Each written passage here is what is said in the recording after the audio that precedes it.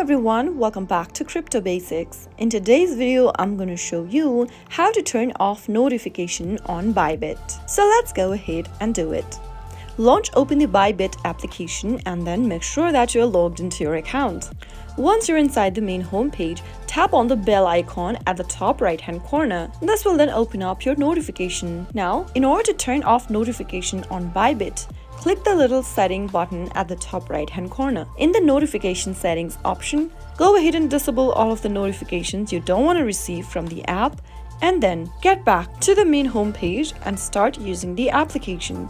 You can also go ahead and launch Open Your Settings app and then under Settings, click on the Notifications option. Now, select Bybit application from the app list and make sure that the Allow Notification toggle is turned off and turned to gray. Once you make these changes, you'll be able to turn off notifications from Bybit. That is how it can be easily done. If you found the video to be helpful, go ahead and give us a thumbs up. Don't forget to subscribe to the channel by hitting the subscribe button.